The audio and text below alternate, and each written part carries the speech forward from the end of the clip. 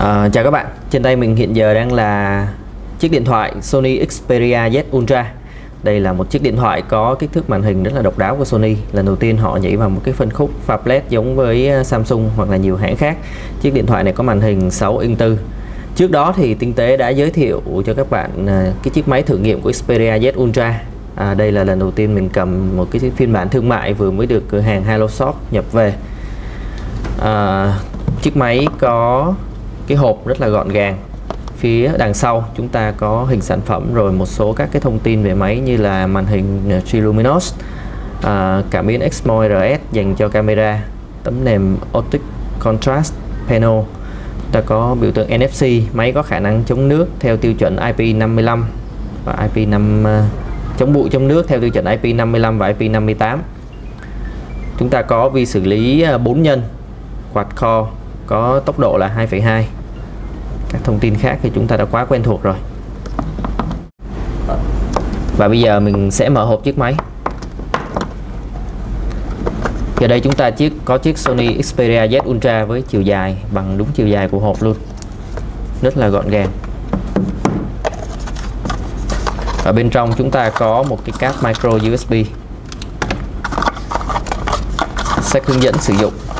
Lần này Sony có hai cái thôi. Ngày trước rất là nhiều chúng ta có một cái sạc ờ, EP880 theo tiêu chuẩn Việt Nam. Chân tròn. Và mình sẽ trở lại chiếc máy này. Chúng ta có thể thấy chiếc máy có kích thước màn hình rất là lớn. Cầm trên tay. Mặc dù vậy cầm trên tay mình cảm thấy thoải mái vì các cạnh viền được làm uh, vuông như thế này. Có một uh, có một cái có một cái chỗ được vát xéo cho nên khi mà chúng ta cầm cảm giác rất là thoải mái. Mình đang khởi động chiếc máy lên cái phần thông tin dán màn hình chúng ta cũng có những cái thông tin giống ở ngoài phía hộp. Và bây giờ mình đang có trên tay chiếc máy Sony Xperia Z Ultra. Thì các bạn có thể thấy à, màn hình 6 inch 4 từ vị trí này đến đây. Và mình cầm trên tay cảm giác rất là gọn gàng à, không như là các mẫu à, tablet 7 inch khác ở mặt trước của máy là một cái tấm kính được bảo vệ cho cái màn hình ờ, 6 inch 4 chúng ta có công nghệ triluminous Display cho nên chúng ta có thể thấy là cái màu sắc cũng như là độ tương phản của nó tốt hơn so với một số màn hình ờ, của Sony cũng là thuộc dòng Xperia khác. Thì với cái, cái thiết kế này bạn có thể dễ dàng cầm theo chiều ngang và để tay như thế này. Còn theo chiều dọc thì bạn có thể cầm theo cái như thế này à, hai cái cạnh của Sony hai cái cạnh của máy được thiết kế đều. À, Sony đã đưa những cái ờ, biểu tượng của Android những cái phím lệnh của Android lên trên cái màn hình cảm ứng để chúng ta có được một cái thiết kế đều hơn. À, ở đây chúng ta có một cái loa ngoài đối xứng với lại một cái micro thoại ở bên dưới này. Logo Sony ở đây chúng ta có một cái uh, uh, camera phụ có độ phân giải là hai chấm như vậy tổng quan là mặt trước mình cũng khá là hài lòng với chiếc máy này.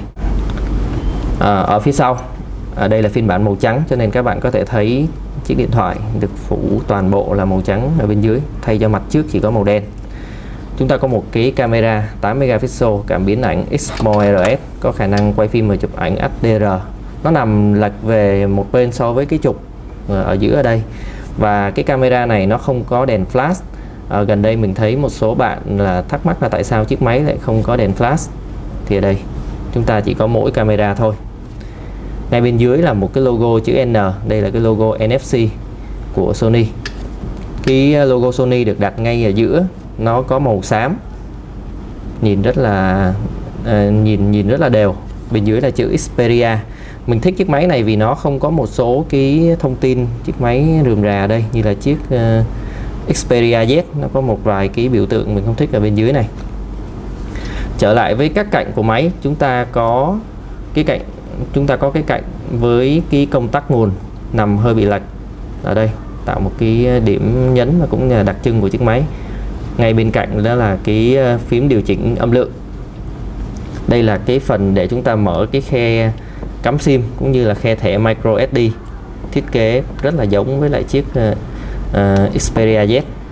Và đây chúng ta có cổng âm thanh 3.5 và cái chiều dài của à, và và cái bề mỏng của máy mỏng 6,5 mm nó cũng tương đương với lại cái ờ, đường kính của cái cổng cắm tai nghe 3.5 này.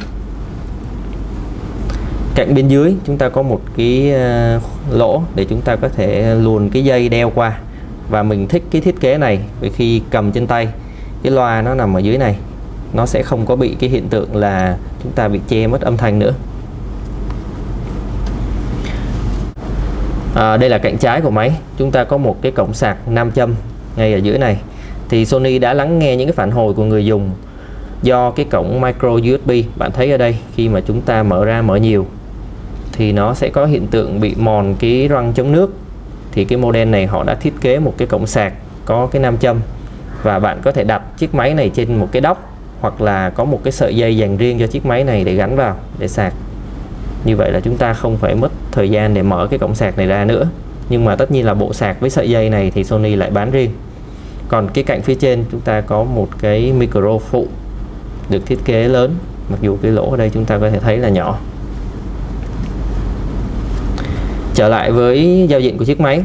Bạn có thể thấy được cái hình nền quen thuộc của Sony à, mình à, về cấu hình Sony Xperia Z Ultra được trang bị à, nền tảng Qualcomm Snapdragon 800 với bộ xử lý lõi tứ là 2,2 GHz chúng ta có RAM 2 GB và bộ nhớ trong là 16 GB ở đây bộ nhớ trong được hiển thị là 11,72 GB và chúng ta có à, 16 à, chúng ta có phần còn lại là dành cho hệ điều hành tất nhiên là bạn vẫn có thể sử dụng thẻ nhớ mở rộng micro SD lên tới 64 GB để lưu trữ các uh, dữ liệu hình ảnh hay gì đó. À, chúng ta có pin dung lượng là 3000 thì cái pin này nó lớn hơn so với những cái chiếc điện thoại mà màn hình 5 inch hay uh, những chiếc điện thoại màn hình 5 inch hiện giờ. Máy có uh, firmware sử dụng Android là 4.2.2 và đây là một cái phiên bản tương tự như là chiếc máy mà mình đã thử nghiệm trước đó. Chúng ta có một giao diện giống như là Xperia Z. Và không giống như là các bạn có thể thấy trên website của Sony. Họ sử dụng một cái hình nền khác. Và theo dự kiến thì tháng 9 uh, ờ, Sony mới tung ra cái phiên bản firmware chính thức cho chiếc điện thoại này. Và cũng chính cái phiên bản firmware này cho nên bạn chưa có thể sử dụng được nhiều cái ờ, ứng dụng ở đây mình vẫn có thể được sử dụng viết để uh, viết lên cái này. Ở đây mình có cái tô viết không phải là viết nhưng mà mình vẫn có thể viết được.